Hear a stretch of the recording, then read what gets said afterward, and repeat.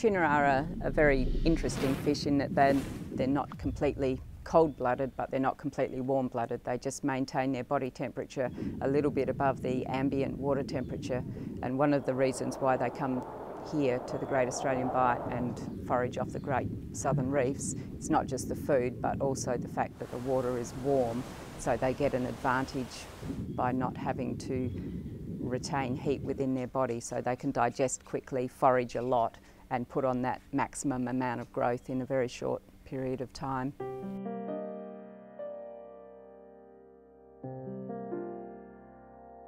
It was a high volume, low value fishery at that point in time. The stocks were clearly not able to support that sort of fishing pressure, particularly from an international level.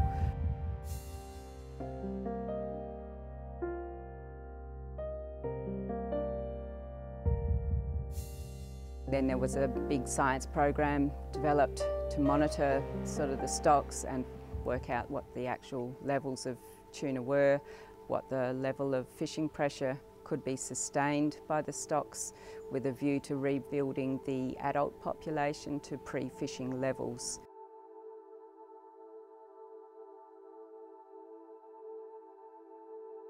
After having a catch limit of 5,000 tonnes for many years. The stocks have now turned around, they're sustainable, having spent the last 30 years operating under a restricted fishing system to rebuild the global population of the southern bluefin tuna.